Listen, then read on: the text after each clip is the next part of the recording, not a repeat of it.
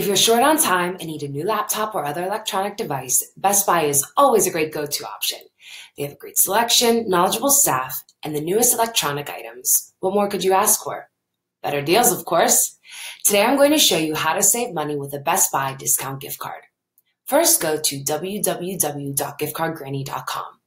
This is a site that helps you find and compare discount gift cards through different sellers. You'll see a search bar at the top of the page.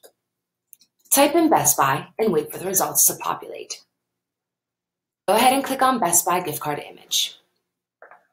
Once here, you can compare savings, price, value, and seller. Find the gift card you wish to purchase, and you'll then click on View Deal, which will direct you to the seller's website. Keep in mind that delivery for electronic gift cards may take up to 72 hours, and plastic cards can take up to seven business days. There you go. Feel free to comment below with any questions and remember to subscribe for other money saving tips.